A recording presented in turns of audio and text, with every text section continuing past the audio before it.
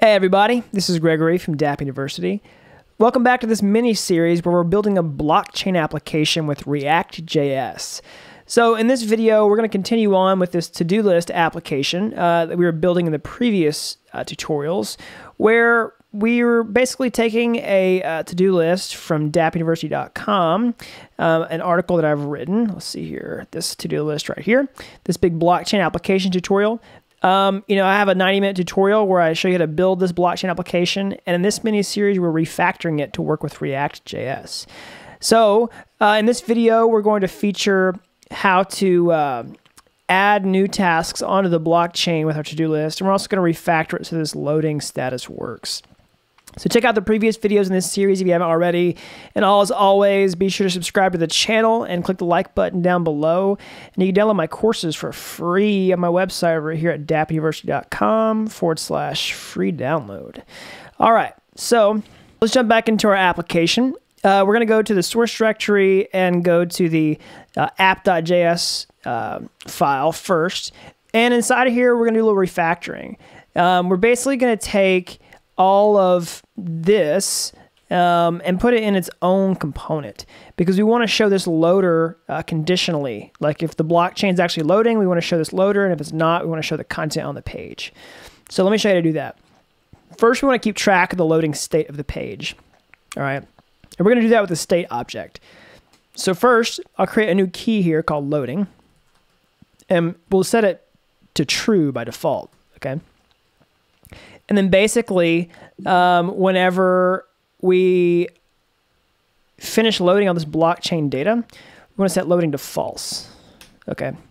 So that's going to come at the end of this load blockchain function. At the very end, we're going to say set state loading false.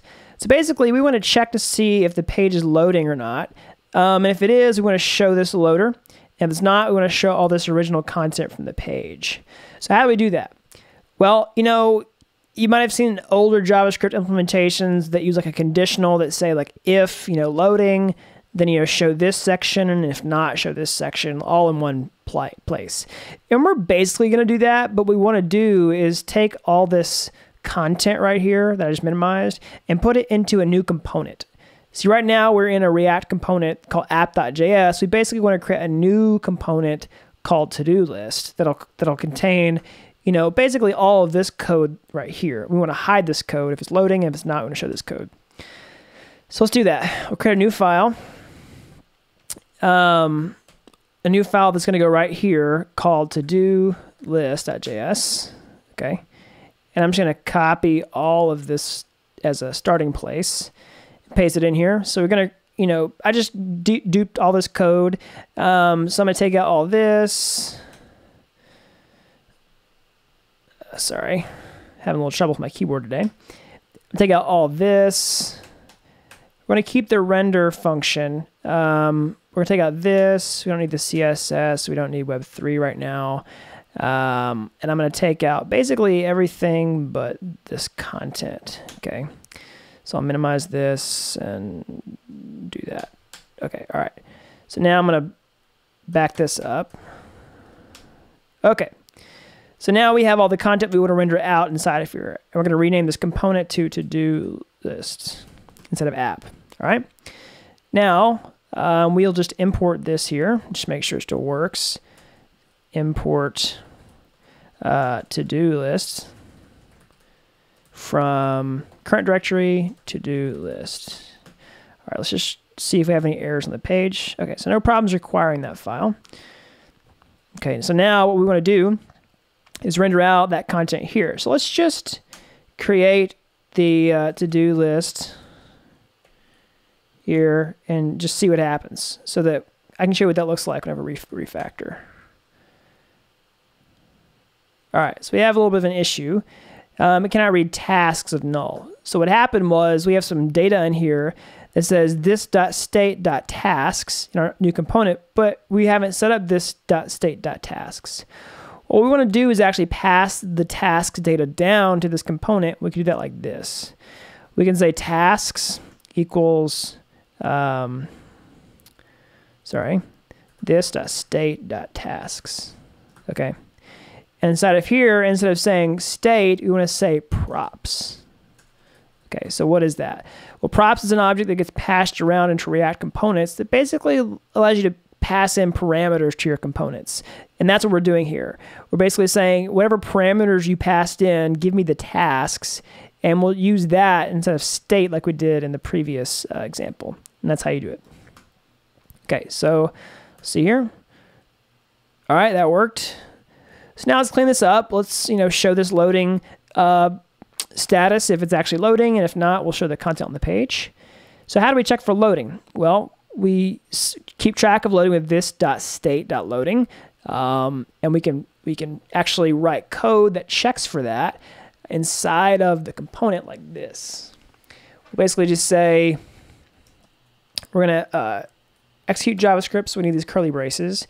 We'll say this state loading. What we're gonna do is basically have like a ternary operator where we say if it is, then you know uh, show loading, and if not, then we want to you know load con you know to do list. All right, so this is just pseudocode. I'm not actually gonna call these functions, but that's what we want to do. So if we want to have um, show the loader, I'm just going to refactor this to use one line. All right, and I'm going to copy this and say I'm going to replace this here. All right, and then here, instead of loading, I'm going to paste this in here. All right, so this is one big line. Looks pretty ugly. Let's just see if it works, though. All right, it worked. So you saw the loading over here. We probably need to update the styling, but um, we can refresh the page and see that if the app's loading, it hides the content, shows the loader, um, and then does this. Okay. So let's clean this up a little bit. I'm going to show you how to format this ternary to use multiple lines. I'm going to escape it like this. Um, sorry, not escape. I'm going to go to a new line like that. Go to another new line like this. This is how I write these things sometimes inside of applications. Save that. See, that's a lot easier to read. We can just say this state let loading, and we know it's a ternary because the uh, question mark starts with the new line, and then the colon, the fallback, uh, starts the next line. Let's see if it works. All right, yep, still works. All right. So now let's um, make the form work. So we want to actually submit a new task to the blockchain. We'll need to wire this form up to talk to the blockchain. And we'll do that inside of this to-do list component. So inside of here, um, we basically want to make this form right here work, okay? And we have a little problem right now. We see, still see this submit button. Um, in the last tutorial where I actually, you know, built this in just vanilla JavaScript, we hid this submit button just because we wanted a really simple to-do list. Um, so we'll do that now. We'll just say hidden, and I'm to say true. See if that works. Okay, I didn't like that. Sorry. Um, I actually need to put this inside of, let's see, the JSX curly braces. Okay, cool. We got this flash of content going on over here. I'm not 100% sure what's happening there, but we'll try to figure that out in a second. Okay, so that worked. The button's gone. Now let's actually wire the form up. So in order to do that, we need an on submit handler for this form, okay? And that is going to look like this. Well, basically, so I'm gonna break that up into multiple lines. I'm gonna say, hmm, let's do it like this.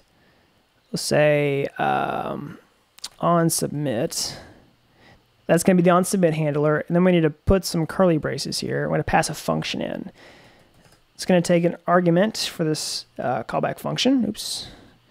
That is going to be um, the event that's passed in. And then we'll say event prevent default. That basically prevents the default behavior of the form, which is to uh, change the page. We don't want that to happen.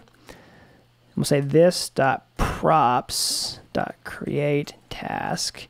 And we'll pass in this dot task dot value. Okay, so we need to make this work. I'll show you. This is going to require two steps. First, we need to actually get the value of the task. That's the first step. The second step is to get a function that actually calls this. Okay, so the first step is to get get the value of this form. We need to pull this out, and then we need to actually submit it to the blockchain. So to get the value, we need to wire up this input right here to keep track of that. We do that something called a ref inside of React, which looks like this. We say uh, input equals this dot task. We'll say input. So what happens is we're basically going to take this input value and save it to our component. And we're going to call it uh, task. And then inside this on submit handler, we're going to read it, this dot task, which we set here, this dot task, and this dot task. And we're going to read out the value, okay? And we're going to pass that into a function create task, which we have not created yet, but we're going to. And that's going to actually talk to the blockchain. So let's create this function, this create task function. It's not going to be called inside of, it's not going to be defined inside of here. We're actually going to define it up a level where we have Web3 in view. So we'll create that function like this. And we'll, I'm just going to paste it in, right? And I'll show you how it works. Boom. So create task is going to work like this. It's going to accept the content of the task and once we get that, we're going to make the app show as loading. And then we're going to say this.state.to-do list, which we save from Web3 here and load blockchain data. This state to-do list. Methods, create task, just like we saw here. Methods, you know, task count. These were call methods, but we're actually going to trigger a send method, which is going to uh, write data to the blockchain. So we're going to say send uh, from this state account, which is the account we're using the app with, and we're gonna we're gonna wait for it to finish. We're gonna say uh, we're gonna listen one time for the receipt to come back from the blockchain, which basically that's gonna give us confidence that you know the tra- the transaction uh, was is was received, and once that happens, we're going to set loading to false and we're going to reload the app. All right. So now that we've defined this create task function, we need to pass it down to this component so that this can call it. This is going to be a two-step process. First, we need to go to our constructor and say uh, this dot create task equals this dot create task bind this. And that is going to allow us to pass it in uh, to this uh, child component like this. Let's say create task equals uh, this dot create task. All right, and now we can pass that into here. So that should be everything that we need in order to wire up the to-do list to the blockchain. So let me refresh this, see if there's any problems see, unknown handler on submit. Oh, I had a spelling error here. Sorry, guys. Uh, on submit. All right. Okay. You can actually see I've got some new tasks on the to-do list. Um, I created a couple of these in between the last video and now. Um, so also, before we do this, you know, make sure you've got Ganache running so that we can uh, create tasks on the blockchain. And if you if you had to update Ganache, you're gonna have to change the smart contract address. Just give you heads up. So you need to make sure you've got one of the accounts from Ganache loaded into your MetaMask uh, wallet. You might need to reset your account. Uh, if you have any issues on this step, you can just go to settings, uh, reset account if you run into errors. But let's just try this. Let's say task number three. I enter. All right sign the transaction. And looks like it worked. Refresh. Awesome. Boom. Task number three is created. All right, guys. Uh, well, that's all I got for this video today. Um, in the next video, we will wire up the checkboxes on the to-do list to actually toggle the task completion on the blockchain, and we'll put them in a completed to-do list down at the bottom. So if y'all like this video, again, be sure to subscribe to the channel if you haven't already. And as always, you can download my courses for free on my website over at dappuniversity.com forward slash free download. So again, I hope you all liked the video, and until next time, thanks for watching Dapp University.